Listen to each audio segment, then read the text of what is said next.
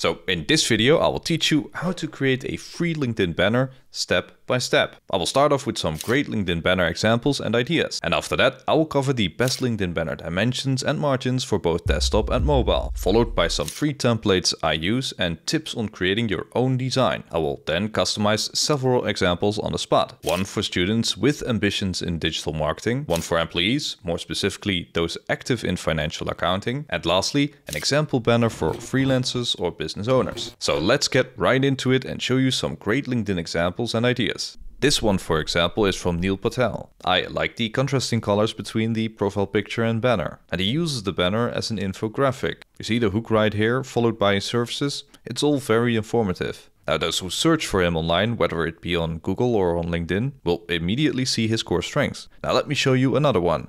This one is from Aaron Cordova, a software engineer that uses his banner to highlight his experience in coding, specifically these programming languages. And if you look closely, he also included his interests, things he cares about, and aspirations. Very creative and eye-catching. Okay, next one, Fabio Marama.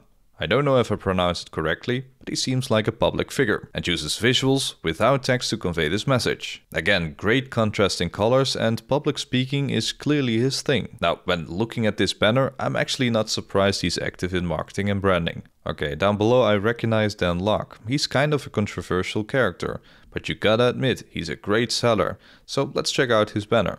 I like this one as well. It's a plain and simple banner with a clear message and company logo in the background. Now, as for the last example, I want to show you Seth Godin's background photo. He's a well-known author and uses the banner section to display and promote his books. So if you want to sell something or display your achievements, then I would highly recommend you to use the LinkedIn banner to do so. Okay, now let's get started on canva.com. You first need to create an account, but don't worry, it's free just like everything I'll be using in this video. Now once you've done that, you click on create design, enter LinkedIn background photo and pick this one, the 1584 times 396 pixels. Then I would like to go to file and enable the ruler and margin settings. That will help us define the available space on not only desktop but also mobile. Something that is important because recruiters and hiring managers use LinkedIn on their smartphone. Now, if we look at Neil Patel's banner on mobile, for example, you can see that the profile picture and banner overlap each other. It says want more effic instead of want more traffic. Now, although Neil Patel's banner is good, it's not mobile friendly, just like some pre-made templates on Canva. For example, this one called Black Minimalist Content Creator. So what I use to avoid this problem is pick an element, search for circle, click it, and extend it accordingly. So vertically in between the 100 and 150 and horizontally 30 to 520. Now you obviously need to remove it once you finish your design. It's just so we know the margins. Let me fast forward a bit. So right now it's placed correctly and when I select the element you can see the measurements. Okay, so as you might have noticed already, these are the pre-made templates that Canva offers. Some are paid, some are free.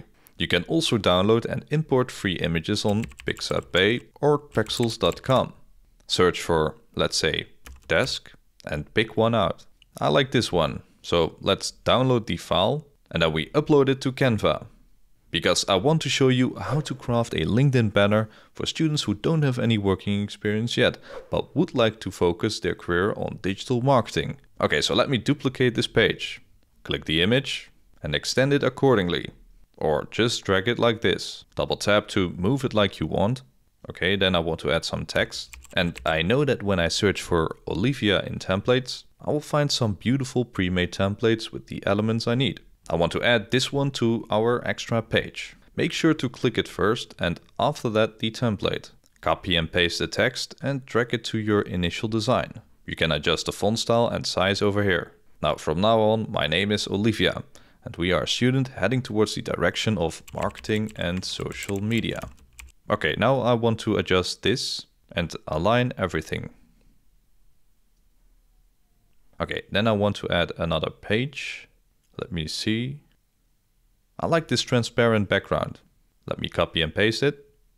Okay, move it a bit and click send it backward a couple of times. Okay, that looks good. Let's add some borders around this as well. And if you want to, you can also change the background's transparency to make the text stand out a bit more. Okay, I also want a call to action. And I know the black minimalist content creator template has it. Add another page. I don't want the underlying element, so I just delete it. Copy and paste the elements. Okay, that looks good. And then we change the colors. Now once you're done, just remove the element. Click on share, download, select the current page, download, open up LinkedIn and upload the banner. You see, and then you have a beautiful template for students. Okay, next up, I would like to customize an example banner for employees, more specifically, someone in financial accounting. You already know how to create this empty template, the element over here, and you know that I found these upload images on Pexels. Now for this example, I want to create a banner that is somewhat similar as Fabio's, but instead of five different parts, I will do three. And the first one with this calculator image. It really fits the image of being an accountant. Make it align and send it backwards. You can either crop it over here or like this. Then I go to elements and search for gradient square. Pick this one out, make it align. Okay, pick some colors.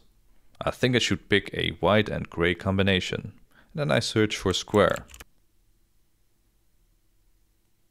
Mm -hmm. Make it transparent. Add a border. And then I would like to add another image. Go to elements and search for, let's say, city. Let's pick this one. Okay, and then like this. Alright, now I'm also inspired by Neil Patel's transparent picture over here. So let me add one of myself. And as you can see, mine is already transparent. Just check out my other video on how to make a LinkedIn profile picture to do exactly the same. Okay, let me align everything properly here. Okay, that looks good. Next up, we need some text, templates, Olivia, and pick this one. Copy the whole text by holding shift and clicking the elements, and then you let shift go and hold the option key to drag them. Now just follow me along. Let me think, what are we again? Oh yeah, a financial accountant. Change the color. Let's pick my hair for fun. Okay, that looks pretty decent. I help companies keep track of their financial health. Align and increase the font size a bit. And lastly, add some of the software tools that you master. A bit like what Cordova did here as well. Okay, so that's done. So now I want to see the end result. Looks pretty good to me. Okay, so next up I want to show you this example banner for freelancers or business owners.